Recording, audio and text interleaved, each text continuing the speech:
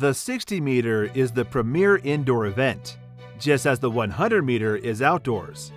Though just 40 meters less than the 100, it is a completely different race. And that can be proved through the most prolific figures in the event. The likes of Andre Cason, Nelly Cooman, and Irina Privalova have gone on to become legends in the event, with somewhat stronger legacies in the indoor event.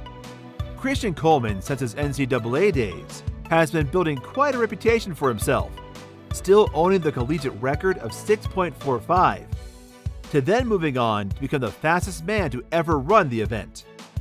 Of the 10 best times in history, he owns 4, with 3 of them ranking from first to third. At just 26 years old, he has an incredible record, shown through a win streak still active since 2016. So, how is it that he mastered the event? Let's take a look at the key reasons why.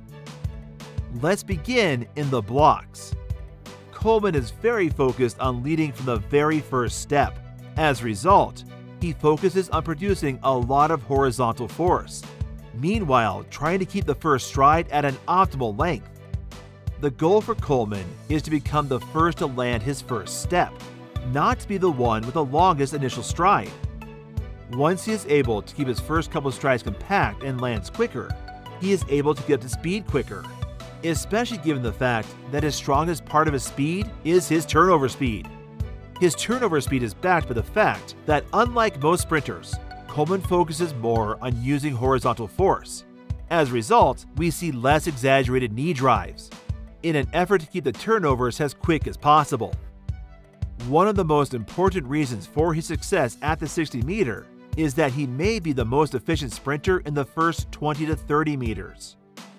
Though the American has a reputation for losing speed quickly over the last half of the race, Coleman has to be credited for the fact he minimizes wasting energy in the first 10 to 20 meters. He does this by keeping movement as linear as possible.